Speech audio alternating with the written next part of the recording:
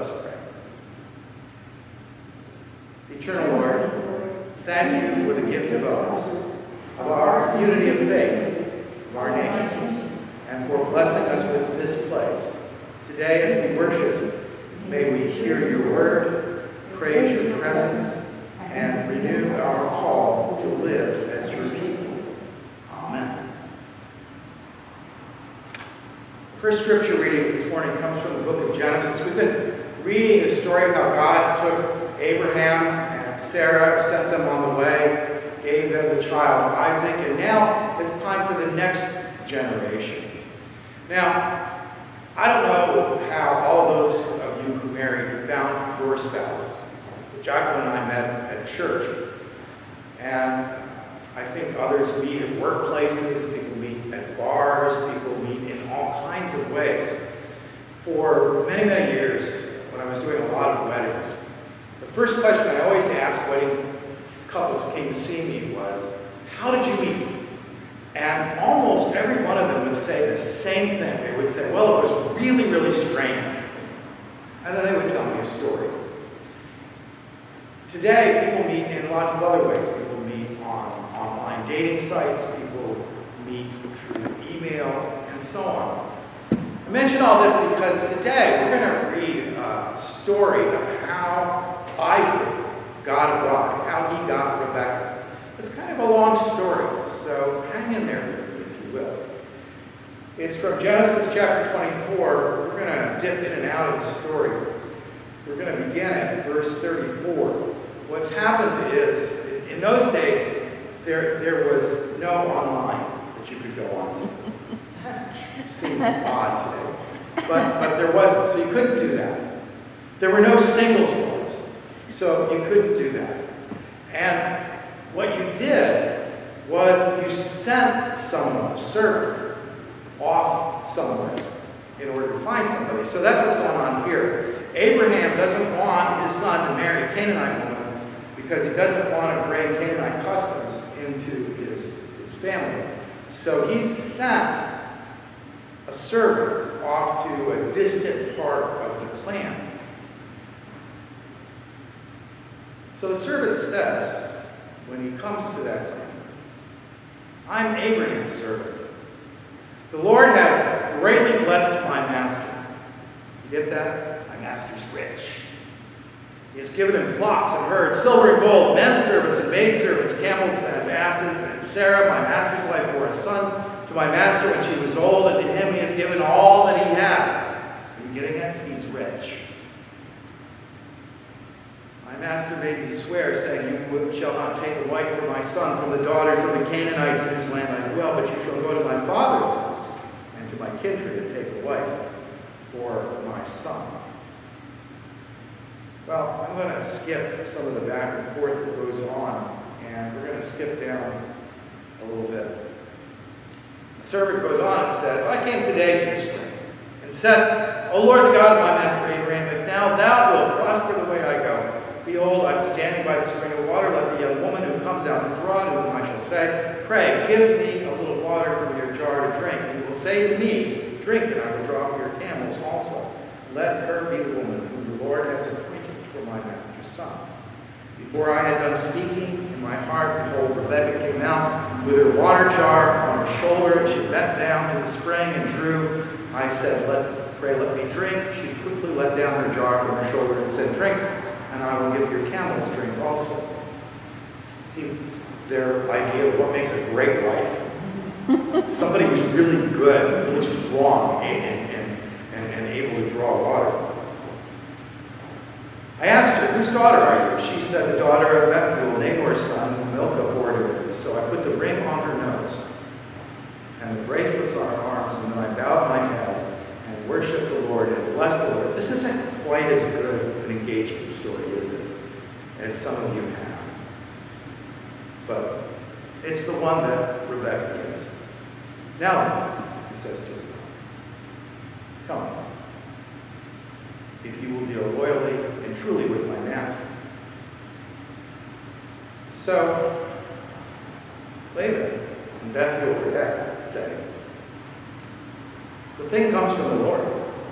We cannot speak to you bad or good. Behold, Rebekah is before you. Take her and go. Let her be the wife of your master's son. When Abraham's servant heard their words, he bowed himself to the earth before the Lord, and the servant brought forth jewelry of silver and of gold, and raiment, and gave them to Rebekah. He also gave to her brother and to her mother costly ornaments. This is smart. It's always good impress your future mother-in-law. And he and the men who were with him ate and drank, and they spent the night there. And they called Rebekah and said to her, Will you go with this man? She said, I will go. So they sent away Rebekah, their sister, and her nurse, and Abraham's servant and his men. And they blessed Rebekah and said to her, Our sister, be the mother of thousands, of ten thousands. May your descendants possess the gate of those who hate them. Rebekah and the maids arose and rode upon the camels and followed the man. Thus the servant took Rebekah and went his way. It's kind of a, it's an engagement story. And underneath all of the language, we see how people are coming together here and how God's word is going forth.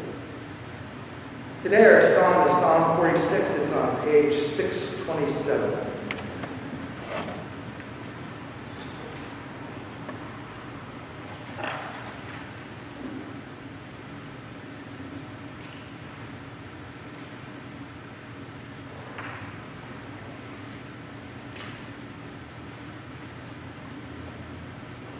A response, and you can do this wherever you're watching this stream, is the Lord of hosts is with us. The God of Jacob is our stronghold.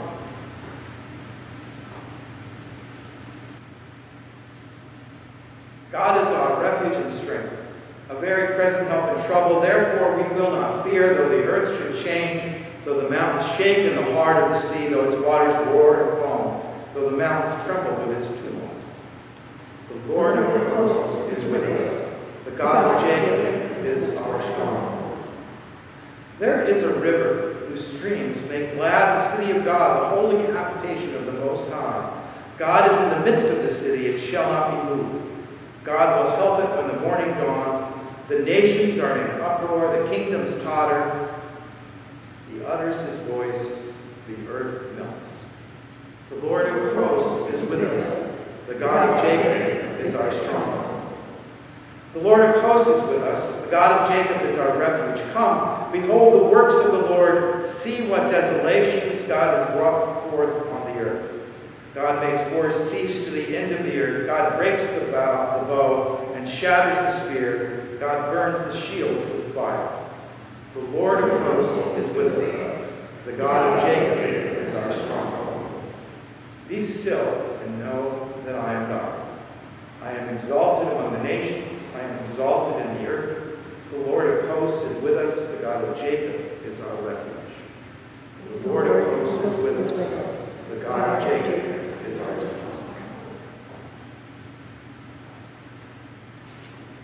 Our gospel reading today comes from the 11th chapter of Matthew, a portion of the Sermon on the Mount from chapter 11, verses 16 through 19 and 25 through 30.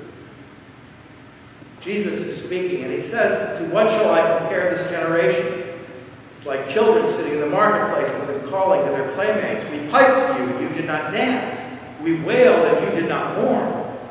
For John came neither eating nor drinking, and they say, He has a demon. The Son of Man came eating and drinking, and they say, Behold a glutton and a drunkard, a friend of tax collectors and sinners.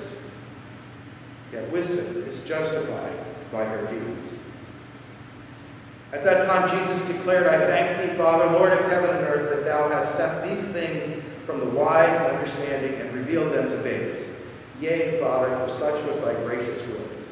All things have been delivered to me by my Father, and no one knows the Son except the Father, and no one knows the Father except the Son, and anyone to whom the Son chooses to reveal the Father. Come to me, all who labor and are heavy laden, and I will give you rest. Take my yoke upon and learn from me, for I am gentle and lowly in heart, and you will find rest for your souls. For my yoke is easy, and my burden is light. This is the word of the Lord. Thanks. Thanks be to God. We're going to sing together now the doxology.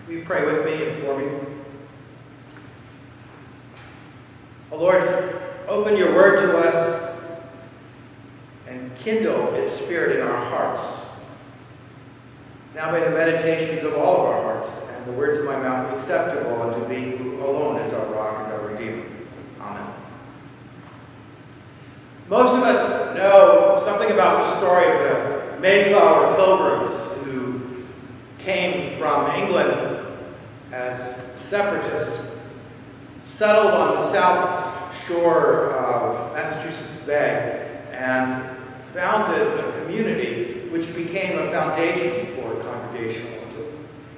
Less well known is the story of the Arbella and its fleet of ships, who came a few years later landed on Cape Ann to the north side of the bay, and really became the foundation of the Massachusetts Bay colony. Imagine that you were the leader of this group. What would you want to say? People have been seasick.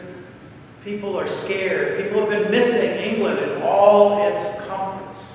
What would you want to tell them about the purpose of this great and dangerous voyage and the founding of this new.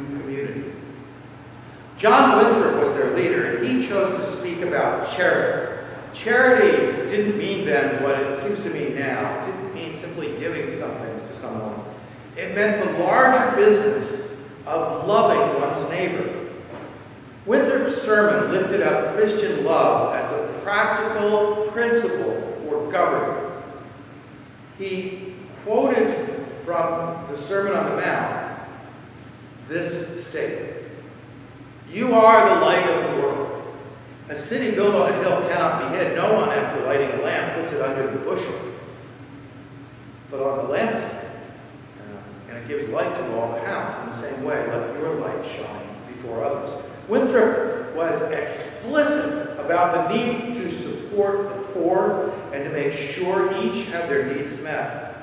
Infused in his sermon was a principle that underlay the congregational way, and ultimately the American, that there is a fundamental dignity, a fundamental purpose inherent in each person, that each person represents a gift of God and it is their responsibility and the responsibility of the whole community to express that gift, to serve God's purpose. When Benjamin Franklin and John Adams, two sons of the Massachusetts colony Winthrop had founded, gathered with Thomas Jefferson to write the Declaration of Independence that we're celebrating this weekend.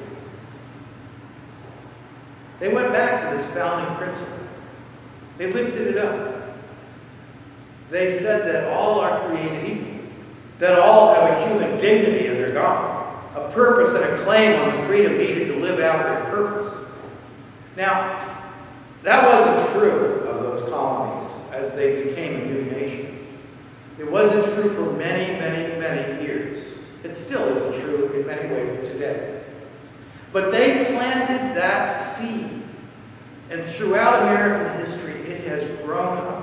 When people put monuments over it, it shattered the monuments. When people tried to push it aside, it came back. It's like one of those weeds you just can't get rid of. This weekend, we celebrate that moment. And we have to ask, because particularly we, as Congregationalists, are the people who helped birth this idea. How can we make that a light for all?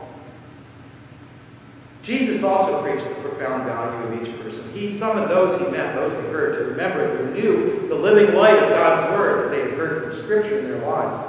He himself said that he didn't come to destroy the Torah, the law, but to fulfill it. That's what prophets do. You know, prophets are not so much about predicting the future. We get we focus on that sometimes. What prophets really do is to take God's gifts in the past, God's word in the past, and bring it to bear on the present. That's the prophetic task. And that's certainly what Jesus did. But he was frustrated. People weren't listening to him.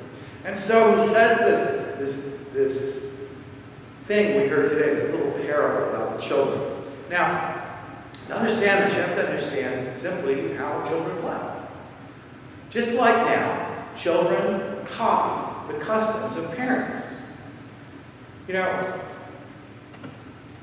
we do wonderful weddings in this culture.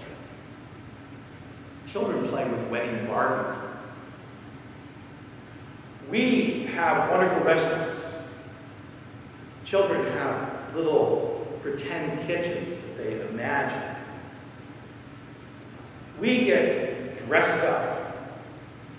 One of the first ways I bonded with Meg was when she was little to play a game called Pretty Pretty Princess. You ever played Pretty Pretty Princess? Well, let me tell you how it goes. You, spin something, you go around a board, and you pick up pieces of plastic jewelry, earrings, necklace. You try not to pick up the black ring because you, you lose if you have a black ring. I don't think they thought I would actually wear the jewelry. you know, I think Meg, Meg's very, very smart. And I think Meg thought that when I didn't wear the jewelry, I would lose. But sure enough, I sat down there and played the jewelry with it. And after a while, there I was with pretty little green earrings and a pretty little green necklace. And modesty forbids me from telling you how many times I beat her at the game. There's not a lot of pride in beating an eight-year-old at a game, really. Well, children play. Children play the games of their parents. So what Jesus is asking us to imagine is children who are frustrated because their playmates won't go along with us. They're in the marketplace. And it says, we piped and you didn't dance. Everybody knows what happens if you get your pipe going. You're supposed to dance when there's music. There's a, a, a great video somewhere on YouTube that I absolutely love of a busker in London, and he's playing um, Queen. He's playing one of Queen's songs. I think he's, he's playing We Are the Champions. And, and, and you see in the video people walking by, trying to walk around. And you know, got to give the guy credit because he just keeps playing, and he's, he's really good at it. He's no Freddie Mercury, but you know, he does his thing. And then all of a sudden, you see this woman, this, this, this woman, maybe in her 60s, in the background, and she comes up to him. Somebody is old enough to remember Queen. And all of a sudden, you see, you're not listening to him and watching him anymore because you're looking at the woman and she's like, I love that woman. he played and she danced. Jesus says, You're like children. We piped and you didn't dance. What's wrong? We wail. This is pretending to do a funeral. You ever do a pretend funeral? We've done pretend funerals at my own. When Amy and Jason were very little, I think somebody's favorite stuffed animal finally fell apart. And, you know, I don't I guess when you have uh, a parent who's a plumber, you get your, your sink fixed right away, and uh, there are all kinds of other things that happen. But when you have a parent who's a minister, you get to have a pretend funeral for your teddy bear. So we did that. We, we didn't dance, we wailed, we did mourn. You get the picture of what's going on in this? People aren't responding the way they should. Jesus has summoned all of here, but they refuse to play. They don't respond. They don't dance. They can't remember the original vision. They're too busy compromising to see the goodness of God. Later he's going to say, only those who come as children will receive his gift, the peace that makes it possible to lay down burdens. We celebrated Independence Day this weekend, but in the midst of our red, white, and blue feeling, have we reached back and touched the light? Are we responding? Are we dancing to the original vision? It's a vision that believes all have gifts, and its genius was always that it gathered us together to share those gifts and make a life doing the work of expressing those gifts. That's what was unique about the American experiment. Other countries were all organized in pyramids, and almost everything went to the people at the top. The American genius was to embrace the gifts of everybody and to encourage them. We said from the beginning with Winthrop that everyone had responsibility for everyone else. That's not a political issue. That's a religious issue. And our job as churches is to lift up, like prophets, that kind of patriotism that remembers that we're founded on God's vision of a community. And I think we do that most effectively when we demonstrate what such a community looks like. Here's what one community looks like when they did it. In the 5th or 6th century, a monk named Duma led a group of other monks to a place on the Irish coastline. You know what the Irish coastline is like? It's all rocks and reefs, and there are storms. And they built a monastery there. I think monks like to find a place with really bad. And, and, and so they built this monastery, and, and after a while they noticed that on the beach nearby, sailors frequently washed up from shipwrecks on the local reefs. So, those monks built a lighthouse. They built a lighthouse and they staffed it for a thousand years. Now, the monks didn't need a lighthouse. People on land don't need a lighthouse. A lighthouse is a gift to sailors. It's a gift to someone else. It's a way of saying, here you go. Here's a guide. Be safe. It's a concrete expression of being a city set on a hill and a light to all. Every shoal, every reef needs a light. What lighthouses do we need to be building? We know there are dark and dangerous currents in our culture. How can we provide guidance to those caught in them? We know there are rocks in which life shadow. How can we be ready to rescue the endangered? Sometimes when we think of patriotism, it's just a matter of cheering for our country, our team. But real patriotism is prophetic. What the prophets did was to remind everyone about God's purpose. And that's what we should do. Prophetic patriotism has nothing to do with parties or elected officials. It remembers God's purpose and the vision with which we began. It reminds us to watch so that when Jesus comes dancing, we will dance along. When we learn the steps, we will certainly see that he spent his way, his, his whole life, going out to those who are lost, those who are sick, restoring their ability to live again. We do this as a community. We are patriots, and we are prophets, and we are light shining out into the world. Now, none of us can do it alone. Jesus didn't live alone. His first act was to gather a community around him, and we're the successors of that community, its children. So we're meant to live as a light, not as individuals only, but as a community. And you know, when you get a group of people together to do something like that, it's like a band. It's like a choir. And so, what I imagine Jesus saying to us as we set out on the task is what every band leader says, what every choir leader says at some point. You know what that is? All together. That's what Jesus means for us.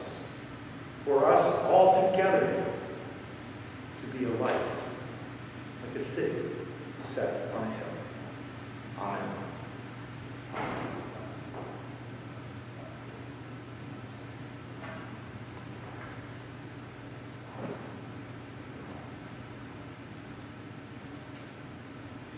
I love thy kingdom, Lord, is our hymn of devotion today, number 503.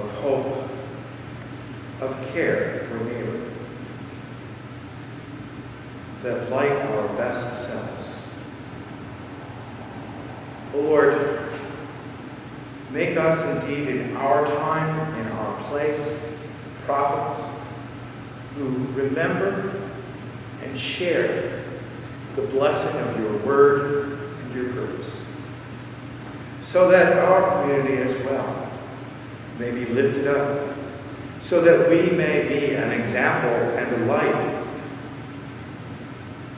a place where people look up and say, there, there, the Lord is surely there in that place. Hear us, O Lord. Hear our prayer today for our country, for our leaders, for all of those who today are on the front lines of serving the community as health workers, for the people who lift up those workers and support them. We ask you keep them safe. We hope that you will turn away this terrible pandemic. Lord, especially today, I want to pray for Miriam, Dave, Margaret, Shirley, Marianne, Jill, Danny, Butch. Are there others? I invite you to take a moment to pray for your own deepest need.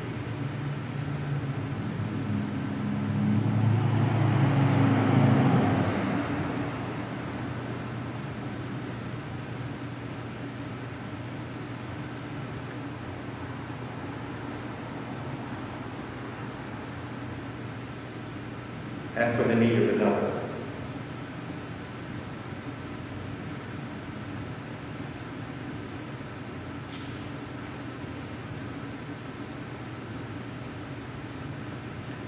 Let's join our hearts and voices together in the Lord's Prayer, saying, Our Father, who art in heaven, hallowed be thy name. Thy kingdom come, thy will be done on earth as it is in heaven. Give us this day our daily bread, and forgive us our debts as we forgive our debtors. Lead us not into temptation, but deliver us from evil. For thine is the kingdom, and the power, and the glory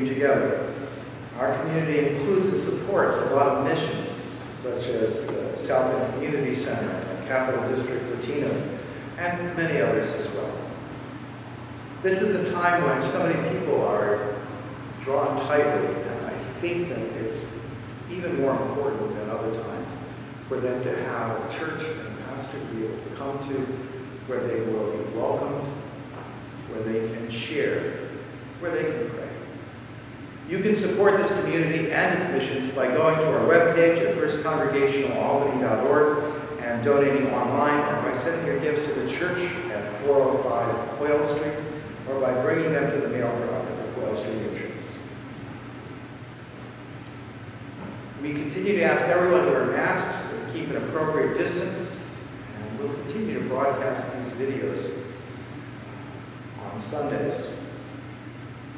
We are going to be open through July, and then in August, we hope to have broadcasts of uh, other religious discussions. So please tune in Sundays at 10:30 a.m.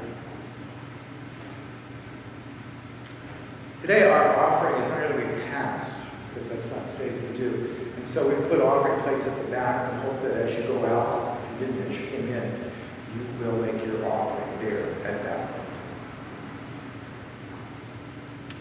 I want to say something about one of our familiar songs, America the Beautiful, because I think it's richer when you know something about its history. America the Beautiful was written by Katharine Lee Bates at the age of 33. She was an English professor at Wellesley College in Massachusetts. And she took a train trip out to Colorado Springs in Colorado to teach a summer school. Several of the sights on her trip inspired her, and they found their way into a poem, which, uh, including the World's Columbian Exposition in Chicago, which is, was called The White City, with its promise of a future contained within the waving white buildings. She wrote part of the poem on Pikes Peak, and then she continued to write it as she came home. She wrote it at the Antlers Hotel for the most part, and it was originally published in a magazine which at one time I was the editor, although not Katharine Lee Bates the Congregationalist, still published, still available today. The first known melody was written for it by Silas Pratt when the poem was published. By 1900, seven years later, there were at least 75 different melodies. There's two in our hymn, I believe. And a hymn tune composed in 1882 by Samuel A. Ward, the organist and choir director of Grace Church, Newark, was generally considered the best music as early as 1910, and still a popular tune today.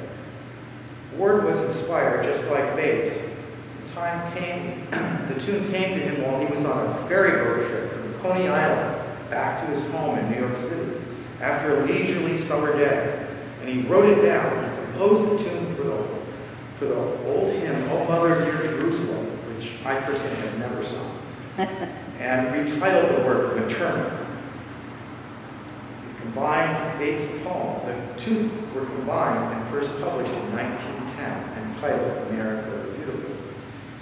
Ward died in 1903, not knowing how important his music would become. Bates lived until 1929 and saw her song become not only popular, but had it suggested as a replacement for the Star Spangled Banner as the anthem for the United States. well, that's a bit of history about the song. Let's sing it together. America the Beautiful.